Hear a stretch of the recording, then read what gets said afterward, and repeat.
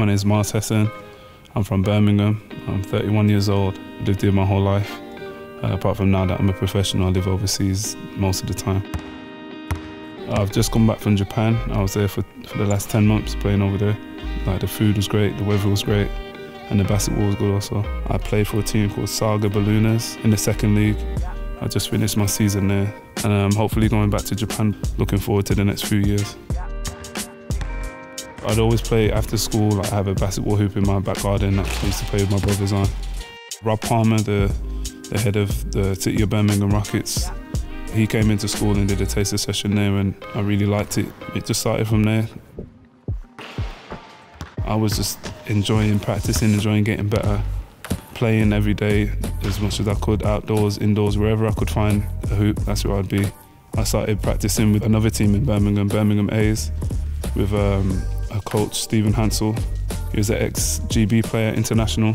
I was able to learn firsthand from an ex-professional at a high level, and that's, that's where my game started to really develop.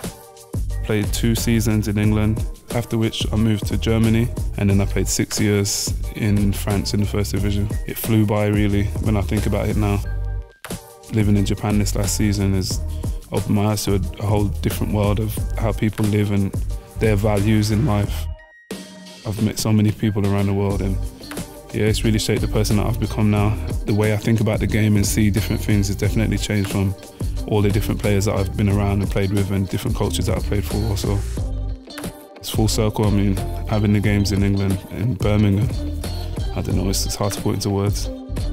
If I have a game that week, I, I visualise playing in that game, so at night before I go to sleep is, is something that I, I do actively. Now the build up to the Commonwealth, I'm definitely visualising holding that gold medal.